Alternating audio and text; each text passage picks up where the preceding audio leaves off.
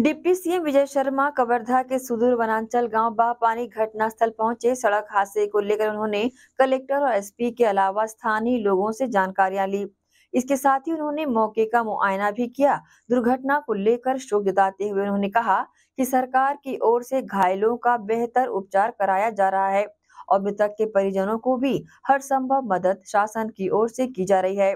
उसके बाद deputy CM Sharma सड़क दुर्घटना में पीड़ितों के गाँव सिमराहा पहुँचे और मृतकों के परिजनों से मुलाकात भी की। डिप्टी सीएम शर्मा ने मृतक के परिजनों से मिलकर ढांढस बंधाया। डिप्टी सीएम शर्मा ने मुख्यमंत्री विष्णुदेव साय से दुर्घटना में मृतकों के परिजनों से टेलीफोन से बात कराई।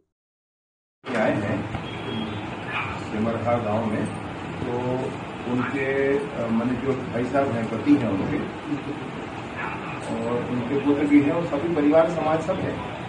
और एक बार उनके सुपुत्र से आपकी बात करा रहा हूँ सर जो भी जैसा विषय आप एक बार बोल दीजिएगा।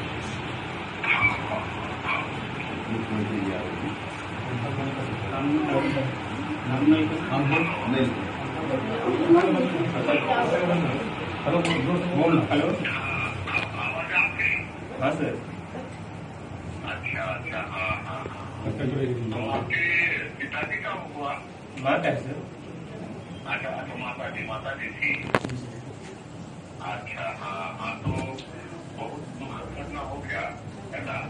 हाँ लेकिन अब क्या कर सकते हैं वो होली को पैसे डालने वाला बात है। तो हम सभी लोग आप के साथ में हैं।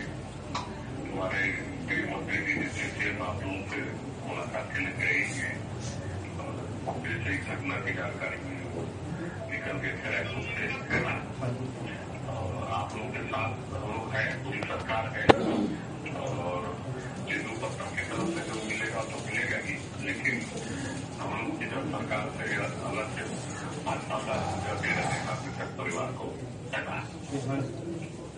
हाँ पाँच पाँच लाख रुपये हम लोग देंगे और तेंदु पत्ता वगैरह का है वो वो सब वो अलग है, वो अलग मिलेगा। लेकिन सरकार की तरफ़ से आ, पाँच पाँच लाख रुपया देंगे है ना और आपके दुख का संवेदना व्यक्त करते हैं आप लोग के साथ में है जो होली हो गया तो हो ही गया है कि नहीं हाँ हाँ और तो बिल्कुल हम लोग को आपके साथ समझिएगा है ना और कुछ होगा तो दीदी जी को बताइए वहाँ पर हाँ ठीक है हाँ, ठीक है ठीक है तो हमारी तरफ़ तो है लेकिन अब करना तो पड़ेगा नहीं घटना घट गई तो है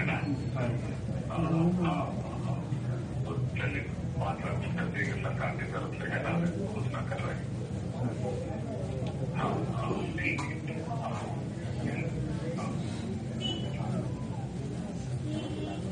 मैं रखता हूँ साहब एक एक दो परिवार एक दो परिवारों में और आपकी बात कराऊँगा फिर बाकी मैं देखूँगा क्षेत्र के हैं और ये मैंने नियमित आना जाना करते गाड़ी से गाँव से जाकर के तेंदु पत्ता तोड़ करके वापस आते थे। संग्राहक परिवार हैं। इसमें तेरह कार्डधारी हैं। कुल तेरह कार्ड हैं सभी लोगों के बीच में। और लगभग पंद्रह की संख्या, सोलह की संख्या ऐसी है। दुखद है, बहुत दुखद है। अभी सब लोग तो लगे हैं। जल्द से जल्द सारी प्रक्रिया पूरी हो जाए इसके लिए। अभी तेंदु पत्ता क्या रोज़गार नहीं है? तेंदु पत्ता आधा देश करता है। कोई विषय थोड़े है।